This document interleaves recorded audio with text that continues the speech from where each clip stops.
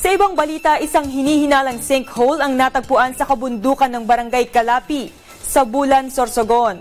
Nagdulot umano ito ng malawak na pagguho ng lupa at pagkasira ng mga kakahuyan. May report si Orlando Encinares.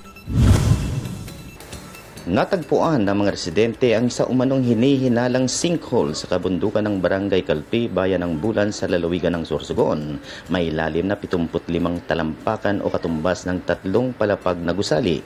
Nagdulot ito ng malawak na pagguho ng lupa at pagkasira ng mga kakahuyan sa paligid nito, kaya binisita ito ng mga taga MDRRMO Bulan upang matiyak ang kaligtasan ng mga residente dito na halos isang kilometrong layo mula sa malapit sa mga kabahayan.